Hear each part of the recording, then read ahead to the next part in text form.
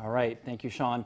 Well, pet owners in Vermont could be digging deeper into their pockets next time they pay a visit to the vet.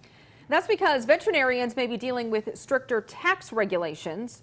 Local 22's Spencer Conlin looked into this for us. And Spencer, this comes down to some confusion over what exactly is on the books.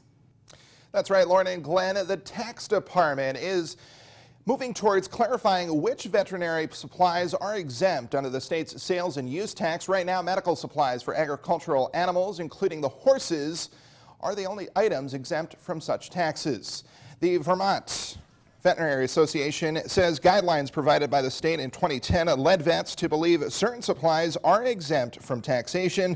These supplies are described as items consumed or disposed of after a limited number of uses, which have direct medical use. Things like medications, disposable supplies used during operations, amongst other items. As a result of those guidelines in 2010, the tax department believes many veterinarians did not pay taxes on these items, but should have under state law. A proposal being considered right now under the Golden Dome aims to clear up any confusion. It would officially add pharmaceuticals and other goods used to diagnose and treat farm animals and domestic pets to the list of items that are exempt from use in sales tax. Veterinarians argue, though, without the exemption, service costs will become too overbearing for Vermonters.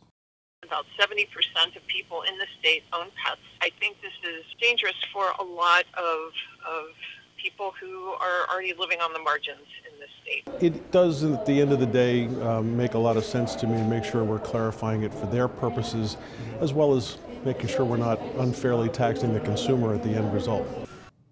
Taxes on these items will be collected in May should there be no action taken on this proposal, but no back taxes will be collected. Lauren?